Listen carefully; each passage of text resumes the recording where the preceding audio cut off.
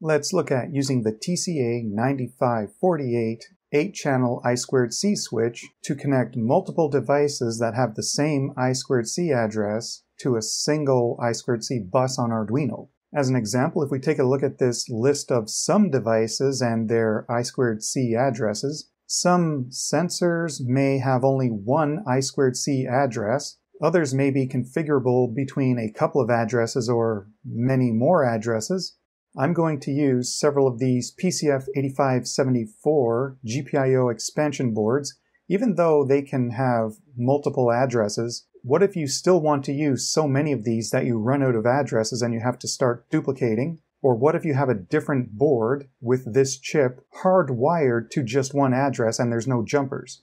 To illustrate the problem and solution, we can look at the datasheet for this I2C switch and take a look at this block diagram here. As an example of when we would want to use an I2C switch module like this, this module has eight channels that you can connect up to the main I2C bus, either one at a time or any combination of them if you want. And the example they give is if you have eight identical temperature sensors, so they all use the one I2C address, you can't put them all on the same bus or they'll all respond at once. So you put each one on a dedicated channel from 0 to 7 on this IC.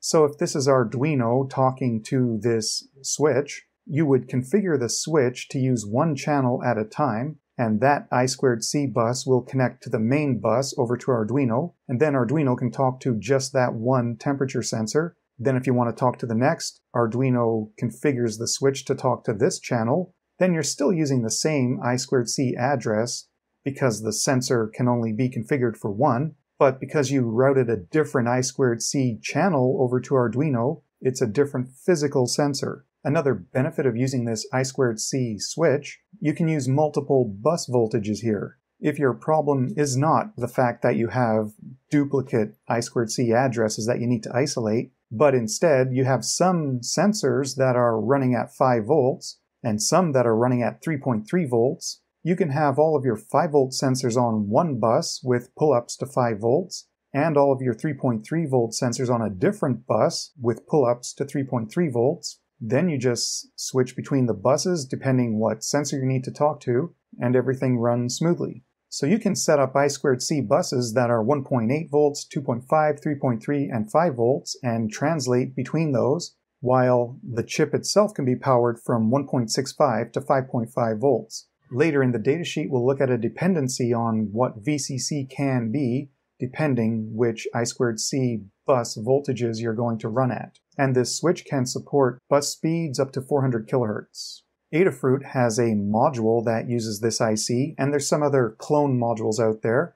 But on the Adafruit website, there's a lot of info on getting it up and running, some wiring diagrams with an example of using two identical sensors, example sketches including a special I2C scanner so you can check the addresses of items on this entire bus. So let's look through the datasheet a little more. This is the block diagram of what's happening inside the switch. You have your main serial clock and data pins here. So if we just look at serial clock, the pin will come over here to this junction of pass transistors. And depending what channel or channels you turn on, those pass transistors will route the various serial clock and data buses over to the main clock and data bus. The I2C switch itself can be configured to respond on I2C channels 70 through 77 hex. By default, these modules here are configured for channel 70, but there's pins to change that if you want.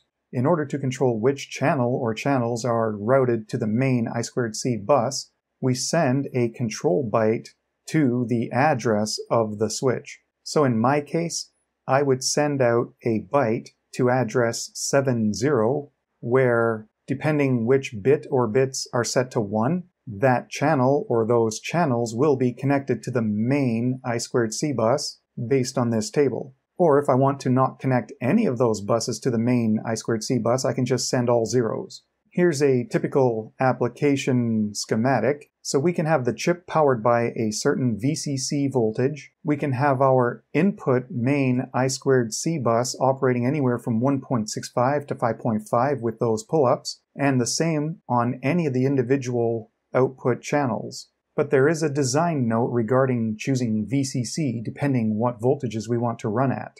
If you have a main I squared C bus at 5 volts, and then you have other buses running at 3.3 and 2.7, V-pass, which is related to the pass transistors we looked at, must be at or below 2.7 because that's our lowest expected bus voltage that we want to run at. So just forgetting what VPass actually is, just knowing that VPass has to be less than or equal to the lowest bus voltage we plan to use, there's a chart where we can look at VPass versus VCC of the chip. So looking at this chart here, VPass versus VCC, if VPass is 2.7, that corresponds to VCC of 4 volts. And the rule is VPass should be less than or equal to 2.7.